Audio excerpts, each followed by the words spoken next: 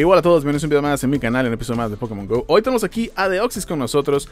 Como ustedes saben, el día de hoy comienza la semana 2 de los, el del Ultra Bonus, lo que incluye las cuatro formas de Deoxys saliendo en incursiones.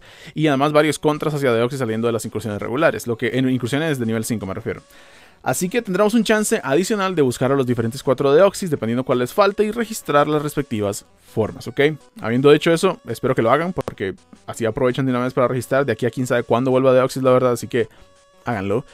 Eh, número 1. Número 2. Deoxys de defensa claramente es lo más destacable de ellos 4, siendo que es de hecho de los mejores de todo el PvP en 1500, así que les recomiendo fuertemente buscar un Deoxys de defensa porque van a estar bastante bien. Y pues es todo lo que tengo que decir sobre Deoxys. Y es todo lo que tendremos que decir probablemente durante un buen tiempo sobre Deoxys. Porque ya la época de Deoxys está por terminar en las incursiones X. De hecho, este mes debería ser el último en el que recibamos pases X para Deoxys. Lo que nos deja con la siguiente duda. ¿Quién sigue? ¿Por qué? ¿Cuáles razones hay? ¿Y qué tan buenos son? Así que vamos a hablar de los, los posibles candidatos, de mis opiniones hacia, hacia qué tan posible me parecen, personalmente nada más. Obviamente no estoy basándome en ningún tipo de rumor de nada porque no los hay ni siquiera. Es, así que es cosa meramente especulativa. Lo que sí les quiero decir es esto. El año pasado, el día 20 de septiembre, el de, 2000, de septiembre de 2018, eh, Mewtwo comenzó a aparecer en las incursiones regulares. Dígase que para el 20 de septiembre ya había concluido su, su periodo en incursiones X y pasó a las incursiones normales. De hecho, en este año tendremos que hoy, 9 de septiembre, va a empezar a aparecer Deoxys. Así que claramente este ya es un poco como la despedida de Deoxys de los raids X. A pesar de que todavía queda el resto del mes y que todavía hay gente con pases X para el Deoxys de velocidad, pero bueno, es lo que es. Em, y el año pasado, este, el día 19 de septiembre, publicaron el anuncio, el Pokémon mítico Deoxys se transforma, transforma las incursiones X. Ese fue el anuncio que hicieron hace... Eh, por 10 días no es un año, para que se hagan una idea. Así que siendo que ya estamos a literalmente el aniversario de la introducción de Deoxys eh, y además que ya hemos pasado por todas las cuatro formas, ya venimos, ya tenemos en esta semana el resumen o el, recordar las diferentes cuatro formas en los raids y demás, está claro que el final se acerca para, para él, por lo menos ahorita en las raids X. ¿Quién sigue? Vamos a hablar de eso y vamos a ir de una vez a la base de datos de GoHub, teniendo a Regigigas como primer candidato, que es evidente porque está aquí por varias razones. Número uno, no tienen que ser míticos los que están en Raids X, Mewtwo es legendario simplemente, e igual estuvo ahí un año. Así que técnicamente Regigigas podría estar ahí sin mayor situación. Hablando de eso, vamos a ver sus estadísticas si les parece para que lo conozcan un poco y lo entiendan un poco. Tiene máximo PC 4346, ataque 287 que es masivamente alto, eh, defensa 210 y estamina 221 son dos muy buenos números. Si se fijan es un, una pared inamovible que además hace mucho daño. Así que tiene muy buenas estadísticas. Son estadísticas que uno las ve y uno dice, wow, Liga Master o wow, maxeado contra raids, contra cualquier cosa que le pongan enfrente. Y probablemente sí que sea cierto. Por más que tenga los movimientos que tenga, tendrá un desempeño decente en Liga Master y maxeado en raids, estoy seguro que sí. Esta es la cosa. Los movimientos podemos revisarlos un poco aquí en, la base de datos. Tengo que decir que, y tomen en cuenta que, si bien es cierto, estos movimientos están asignados a Regigigas en este momento, en cualquier punto cuando salga Regigigas podrían cambiarle un movimiento por otro antes de que salga y hacer que esto cambie completamente mis opiniones. Tengo que decir, por ahora, esto es lo que, lo que pienso. Tiene los movimientos rápidos, golpe roca y cabezazo zen. Son ok. No puedo decir más que eso. Y tiene los, movimientos de carga de alud, eh, cuerpo pesado y roca afilada.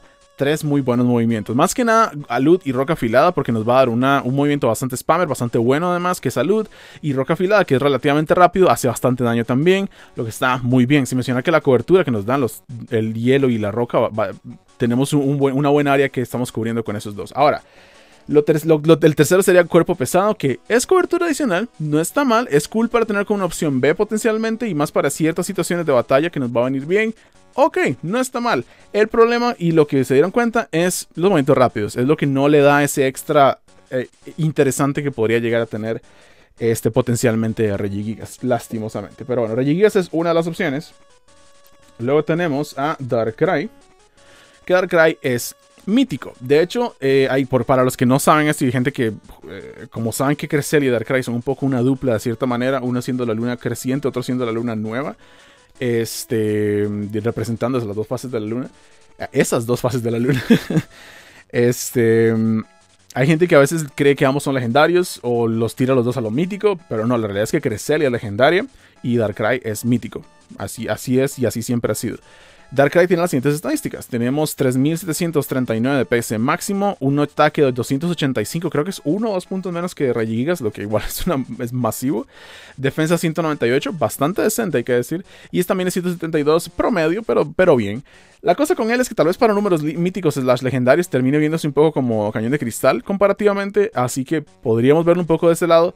De todos modos, hace un daño bárbaro pero bárbaro. Y además que hay que decir que los movimientos que tiene asignados de momento al menos son bastante buenos. Tiene finta y alarido como movimientos rápidos de tipo siniestro. Dos geniales opciones, que de dos de tres opciones creo que son. Así que bastante bien para él. Tiene bola sombra, que todo, todo aquello que tenga bola sombra ha sido bendecido por, por, por Arceus. Así que ahí está hablando de Arceus, vamos a él eh, Bola Sombra. Tiene Pulso Umbrío además que le da ese extra de tipo siniestro que puede hacer daño mucho más amplio y además tiene una certera por si fuera poco, cobertura adicional con tipo lucha. Muy, muy bien. Sinceramente, eh, no hay nada malo que decir sobre ese set de movimientos. Tal vez onda certera, pero tampoco es que esté mal inherentemente. Así que bastante, bastante, bastante bien. Y a ver, entiendo que el hype de Darkrai es muy grande, pero lo que pasa es lo siguiente. Tomen en cuenta cuando estuvo Mewtwo en las incursiones durante un año entero. La gente después de dos, tres meses de ver exactamente lo mismo y de ser invitados a exactamente lo mismo, si bien es cierto, seguían yendo, es como, no sé si voy a ir, es un poco aburrido, es el mismo, es ta, ta, ta, ta, ta. Así que veo suceder algo así con Darkrai, que si bien es cierto, podría haber mucho hype inicialmente, no lo veo suceder como Raid X por lo menos. Claro está que además viene octubre y él perfectamente podría ser como Spiritum en el sentido de que sea una misión exclusiva de Halloween y que cada Halloween se active la misión de Darkrai y todos podemos conseguir a Darkrai así. Puede ser, ¿por qué no? Y sería una manera bastante cool de, apropiar Halloween y todas esas cosas. La, cosa. la única razón por la que diría no a esto es por el hecho de que justamente un poquito más de un mes antes tuvimos otro mítico que sería Jirachi. Así que sería un poco extraño dos míticos nuevos tan seguido. Al mismo tiempo, Jirachi estuvo ya desde un tiempo antes, digo, estuvo globalmente hasta ahora, pero estuvo de hace como dos, tres meses, está para todo, para, para el público de los GoFest. Así que no sé, estoy un poco en ese, en ese balance extraño, pero de todos modos sí que lo puedo ver para una misión especial de Halloween perfectamente sin mayor situación. Además que reitero, ese set está bastante bien. Y con Regigigas, que no dije mi opinión, si bien es cierto, es muy fuerte y lo que sea, yo no. A él lo veo aún menos como, como parte de los posibles Raid X. Eh, a menos que fuera una selección de diferentes pokés que fuera cambiando y rellegase a uno de ellos, por ejemplo, eso tal vez podría ser así, pero de no ser algo, algo tan así que lo pueda acomodar, no lo veo a él estando un año entero de las incursiones X. Mm, la verdad es que no, sinceramente no. Además que lo veo a él saliendo de raids normales en algún punto en el futuro. Pero bueno, otros pokés que faltan son Manaphy, que de hecho están a los lados de Darkrai, que es algo que me pareció curioso, pero Manaphy y Fione, que es no es super evolución, es su hijo, básicamente. Manaphy puede dar, este, puede hacer que salgan eclosiones de Fione, ¿sí? Eh, que Fione también es considerado mítico, de hecho. Eh, no es increíble, ninguno de los dos son demasiado... Bueno, Fione no es demasiado increíble, Manaphy tiene las mismas estadísticas este, de de Mew y Celebi, si no me equivoco. Y el otro, la otro, el otro posible, que también es mítico, es Shaming, que además Shaming tiene forma alterna y tiene las mismas estadísticas de los dos que acabamos de mencionar, que es 210, 210, 225. Ellos dos los veo de misión, sinceramente. Pueden hacer el próximo día del agua una misión especial con Manaphy o simplemente de la nada en algún punto del año que viene hacer misión con cualquiera de los dos y tendría sentido. Este, también podrían hacer una cosa como por estación, en el sentido, no estaciones del año me refiero, pero como una época a poner la mitad de la primera misión de, de y que el final, el primer final sea Fione y después de unos meses continúe y hay otra parte en la que consigamos a Manaphy. ¿Por qué no? Eh, el punto es que eh, a ellos no los veo como raids, no los veo como raids en general, sinceramente. Así que no me parece que vaya a ser así. Pero nos queda una última opción y una última posibilidad de los Pokés actuales, cuando menos. Y es el propio dios de los Pokémon, Arceus. Eh, me encanta que lo ponen por determinado como tipo bicho. Ok. Eh, los números de Arceus son los siguientes: 3989, bastante elevado, teniendo 238, 238 y 237 este, de sus estadísticas, tres excelentes números, muy equilibrados, pero muy, muy altos y muy buenos.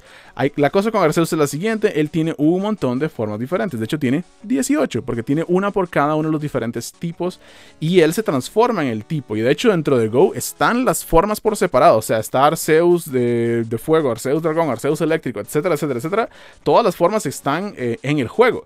Ahora, esta es la cosa con Arceus y es el por qué sí lo veo y por qué no lo veo al mismo tiempo. Sí lo veo porque al tener 18 versiones, cada mes podrían cambiar a una forma de Arceus y ir consiguiendo todos los diferentes tipos este, eh, posibles. Y así conseguir que este, cada mes cambie, cada mes sea un poco diferente y tengamos algo que buscar cada mes. El asunto también es que eso haría que sea un año y medio, que es todavía más de lo que hemos tenido hasta ahora Mewtwo de Deoxys en Incursiones X, que es algo que no se ha hecho de esa manera hasta ahora. Y un año y medio, por más que todos los meses cambie, creo que podría ser un poco cansado para algunas personas y lo entiendo totalmente si fuera así el caso. Así que es ahí donde no veo tanto Arceus, porque creo que si lo extendiesen tanto tal vez sería demasiado. Ahora, esta es la otra cosa, nuevamente del lado opuesto. Él podría ponerlo solamente un año, igualmente, bueno, solamente un año, un año nada más, pero que sea al azar y que uno pueda conseguir las diferentes formas de Arceus en cualquier momento. Simplemente tiene un año para conseguir las 18 y, y listo. Puede jugar los primeros 18 raids en ese año y chao, los consiguió todos. Lo que esperaría y lo que me gustaría es que Arceus se pudiese intercambiar si ese fuera el caso, porque con Deoxys no se pudo y ok, no estuvo ni bien ni mal ni nada, hubiera sido cool, pero en fin, con Meltan y Melmetal nos dejan cambiarlos y se pueden conseguir Lokis y ambos son míticos. Así que si es que está la situación de que no se le puede cambiar de forma a Arceus no hay ningún objeto ni ninguna opción para que él cambie de la forma, y se le obliga a uno a tener el que consiguió. Digamos, llegó y me salió el tipo siniestro y ese es el que tengo y nada, y ya, chao. Si esa es la situación, sería genial que se puedan intercambiar, porque así por lo menos uno puede decir, oh, usted tiene dos de tipo fuego, yo necesito uno de fuego, yo tengo dos de bicho, quiere y cambiamos y lo que sea. Ahí estaría bastante bien. Espero que sea así si es que lo llegan a sacar así, porque si no, sería un poco jodido. En general, y, además hay gente que no puede hacer tantos raids, eh, raids X y no los eligen para tantos raids X en el año. Así que eso también me hace pensar un poco en, ese aspecto, en esa área de, las personas que no pueden simplemente ir a tantos Raid X como para conseguir todas las formas. Pero bueno, en fin. Espero sean intercambiables si es que los sacasen al azar y no fuera uno por mes. Aún así, igual espero que sean intercambiables, sinceramente. Pero bueno, es lo que tenemos que decir por Arceus. Y lo último es su set de movimientos, que Arceus la verdad es el que veo más posible de todos, tengo que ser sincero. Este, tiene cola de acero, cola de hierro, tiene enfado, tiene garra umbría, tiene este hiperrayo y tiene premonición. Esos son sus movimientos.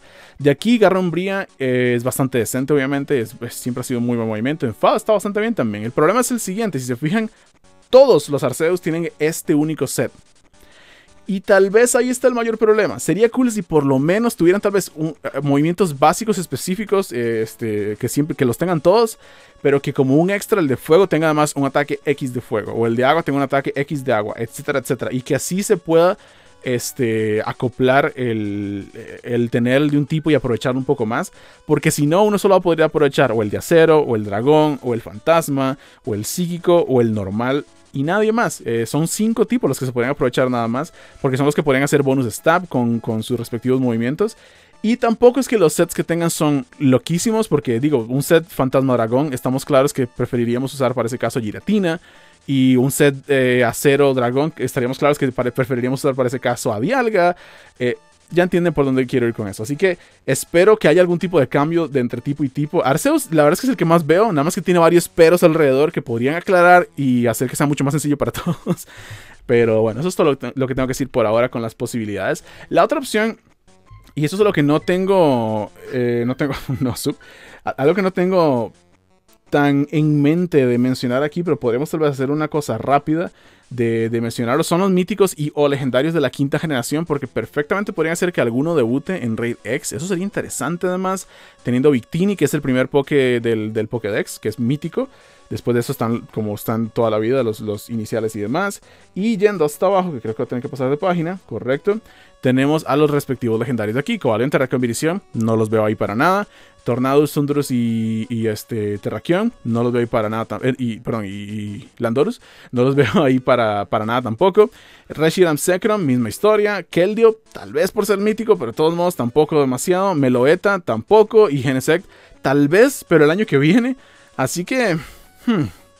No sé, además que Genesec también tiene todo un rollo del que hablar para incursiones X, pero eso será una conversación para el año que viene, no para, no por, lo menos no lo veo todavía, así que por ahora creo yo personalmente que Arceus es el que más sentido me hace, pero cualquier cosa podría suceder. Luego ponen a Eevee con Corona Floral en los Raids X, uno nunca sabe. Pero bueno, quiero que pongan en los comentarios qué creen ustedes, a quién creen que vayan a poner y bajo qué circunstancia, de manera realista, porque sé que mucha gente dirá, oh, quiero Darkrai, pero solo porque quiere tener a Darkrai, no porque le está pensando como un año entero de solo Darkrai o cosas por el estilo. Así que nada, pongan en los comentarios sus opiniones sobre esto. Si les gustó el video, dejen su like, suscríbanse para más y nos vemos en el próximo episodio. Adiós.